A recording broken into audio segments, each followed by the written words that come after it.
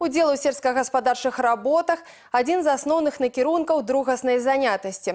У фермерскія гаспадаркі адкрытыя акцыянерныя таварыствы з гомеля кожную раніцу накіроўваецца па некалькі аўтобусаў. Хто выкарыстоўвае такую магчымасць зарабіць і колькі можа скласці дзённы заробак, даведаўся Олег Сенцюроў. Гомельскі гарадскі цэнтр занятасці палова 8 гадзіны раніцы. Менавіта тут збіраюцца людзі, якія маюць намер выехаць на сельскагаспадарчыя работы. З пачатку года такой магчымасцю скарысталіся больш як 3,5 тысячи чалавек. Прычым некаторыя прымалі ўдзел у аплачваемых работах не аднойчы. Может, кто-то временно не работает, может, кто-то в отпуске находится и хочет подработать. То есть всех желающих мы э, организовываем, отправляем в сельские хозяйства. Женщин у нас больше, а мужчины тоже ездят. Ну, мужчины там в качестве грузчиков что-то тяжелое перебрать, мешки поднести. Вот в основном такая для них работа.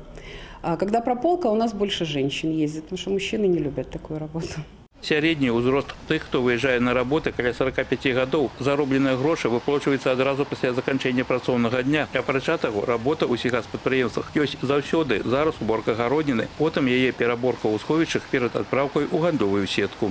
Нягледзячы на дождь у камбінаце ўсход літаральны спякотны час. Неабходна паспець убраць добры ўраджай. З гэтай нагоды з гарадскога цэнтра занятасці штодзень сюды прыязджаюць каля 90 чалавек, але ўжо з заўтрашняга дня іх колькасць павялічыцца. Зараз асноўныя віды работ уборка морквы, цыбулі, бульбы і капусты. У гаспадарцы ўсход за працоўны дзень, які працягваецца звычайна да паловы чацвёртай гадзіны дня, у сярэднім можна зарабіць каля 15 рублёў. Усё залежыць ад віду работы, таксама ўласнай адказнасці. Напрыклад, моркву усе работнікі збіраюць у одну машыну, кошт сабранага потым падзеліць на ўсю брыгаду. Дарэчы, практычна ўсе ксупы і акцыянерныя таварыствы разлічваюцца грашыма. У некаторых фермерскіх гаспадарках за работу могуць прапанаваць прадукцыю. У любым выпадку галоўная задача задача максімальна хутка сабраць ураджай які сёлета па некаторых культурах оказаўся сапраўды рэкордным даже из этих погодных условий которые были в этом году урожай мы получили неплохой даже посмотреть по луку в этом году мы получили на тысячу тонн больше даже